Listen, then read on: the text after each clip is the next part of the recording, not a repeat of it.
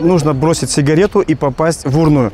Если человек не попал в урную, он достает вторую сигарету. Если не попадает вторую, он бросает третью, пока не попадет в урную. Как только он попадает в урную, здесь он может выбрать себе призы